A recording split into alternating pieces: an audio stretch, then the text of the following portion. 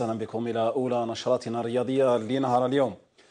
البداية كالعادة بجولة في أهم ما جاء في صحفنا الرياضية المحلية الصادره اليوم الثلاثاء الموافق 27 ديسمبر 2016. البداية مع الشباك التي عنونت بهذا العنوان قطار العمالقه لا يتوقف في البريمير ليج.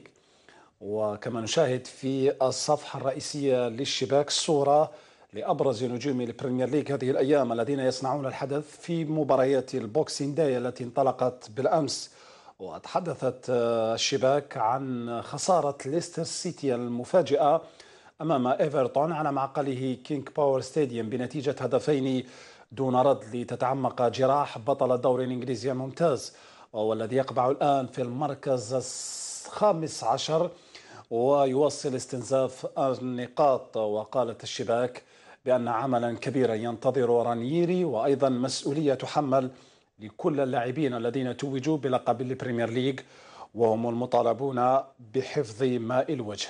دائما في إنجلترا مانشستر يونايتد يواصل التألق ويؤكد هذا الفريق يؤكد الاستفاقة مرة أخرى. الموعد كان أمس في أولى مباريات ال Boxing Day وفاز مانشستر يونايتد بنتيجة ثلاثة أهداف لهدف واحد أمام ساندرلاند في معقله أولترافورد عفوا سجل لليونايتد.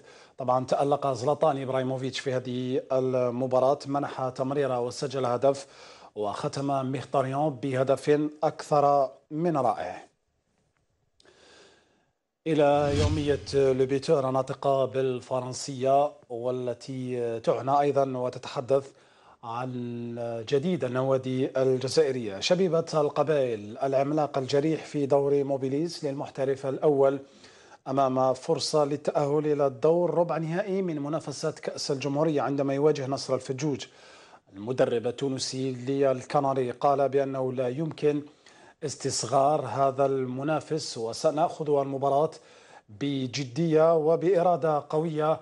كالتي شاهدها الفريق أو كالتي شاهدها في مباراة شباب بلوزداد الأخيرة حيث فاز الشبيب أو فازت الشبيبة بنتيجة هدف دون رد أمام الشباب بعد ست أو ست تعادلات بملعب أول نوفمبر.